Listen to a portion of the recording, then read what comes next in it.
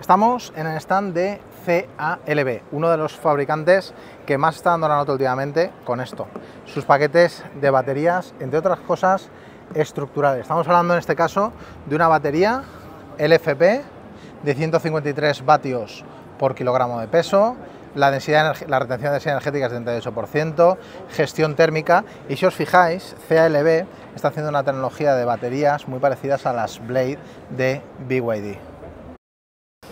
Como veis están por bloques, eh, no sé si esto es separador o es unidad de líquido, es eh, bottom venting terminal, o sea, tenemos módulo, línea de ventilación y módulo. Esta es la parte delantera de la batería, tenemos los BMS, los puertos de conexión de alta potencia, ¿vale? Otro de los puertos que ahora mismo están utilizados y como veis, estos son los pernos de guiado cuando metes el paquete de baterías. Por lo tanto, estos pernos te van a servir para hacer intercambio de baterías.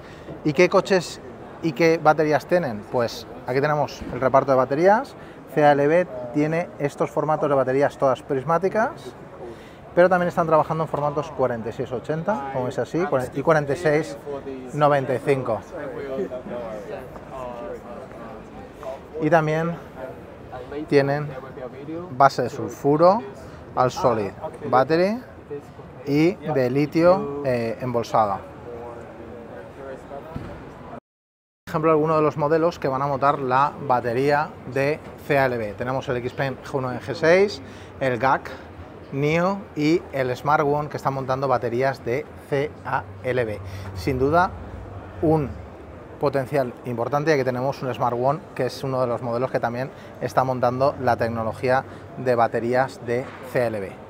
Un fabricante que no es tan grande como CATL ni como BYD, pero hay que tenerlo muy en cuenta porque están haciendo cosas muy interesantes dentro de la oferta de vehículos eléctricos.